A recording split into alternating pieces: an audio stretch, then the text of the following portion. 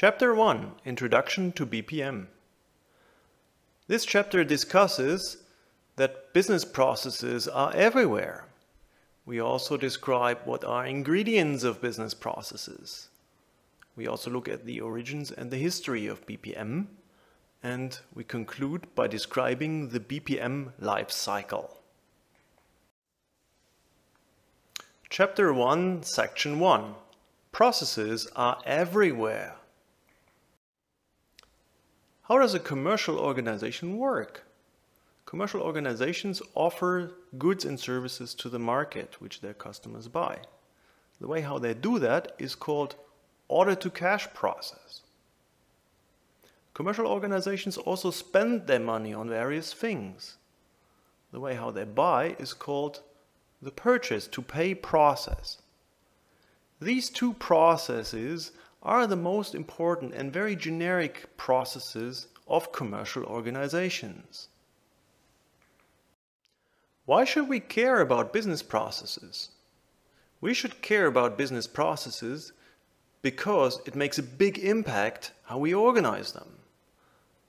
Let's look at a historic example. Adam Smith is well known for his famous book An Inquiry into the Wealth of Nations.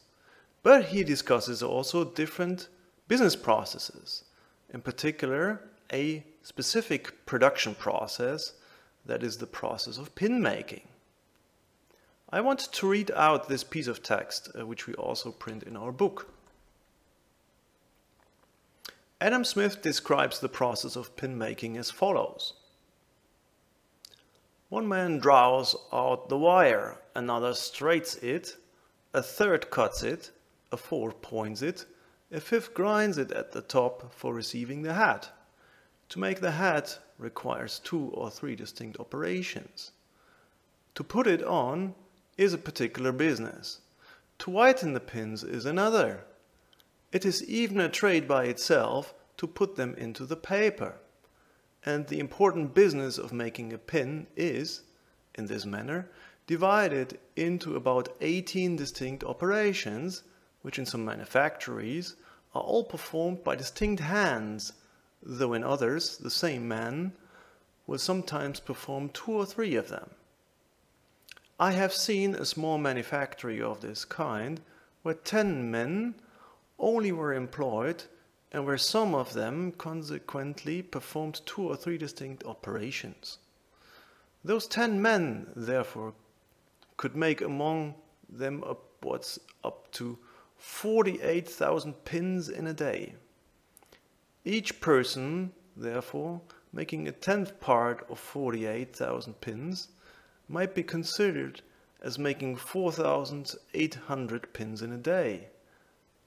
But if they had all wrought separately and independently, and without any of them having been educated to this particular business, they certainly could not each of them have made 20, perhaps not one pin in a day.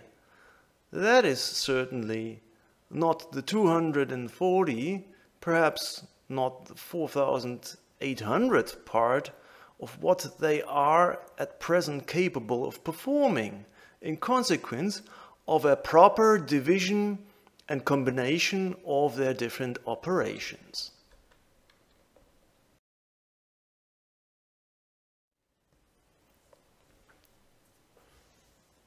A key aspect that Adam Smith describes is division of labor.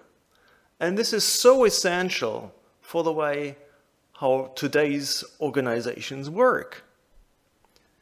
Adam Smith describes that each of the steps in the process is being done by a different person.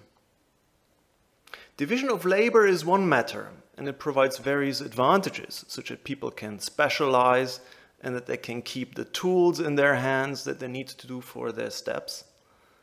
But it also means that we split up the work.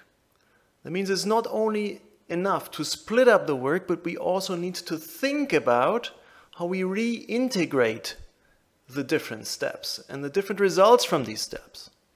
And for that reason, business process management is so important Because when division of labor is about splitting up the work, it is business process management that gives us tools and techniques for integrating these different steps. Today, complex work in commercial organizations is not only organized by the help of division of labor. It is information systems that play an increasingly important role in two ways.